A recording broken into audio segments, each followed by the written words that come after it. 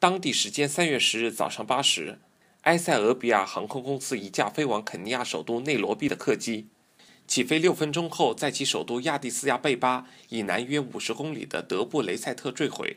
机上一百四十九名乘客及八名机组人员全部罹难，人员来自中国、美国等三十五个国家及地区。罹难中国公民共八人，五男三女，其中一人是名叫曾成义的香港人，为联合国环境署驻肯尼亚办事处的职员。香港居民曾成义本科在香港中文大学工商管理学系就读，随后赴英国升学，毕业后曾在联合国驻意大利的粮食及农业组织工作。他现年三十七岁，已婚，与妻子育有一名儿子，全家自二零一六年起在肯尼亚居住。曾成义在他的网络社交平台经常分享他在非洲的生活经历。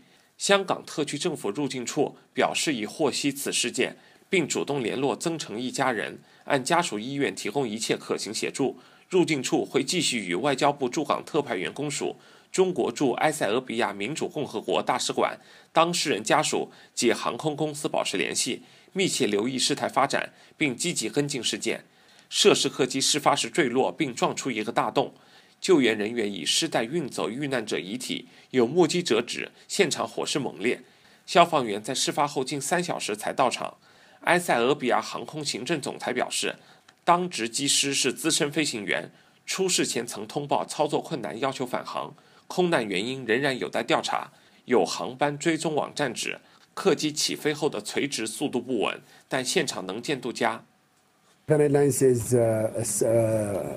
One of the safest airlines in the world. Uh, uh, at this stage, we cannot rule out uh, anything.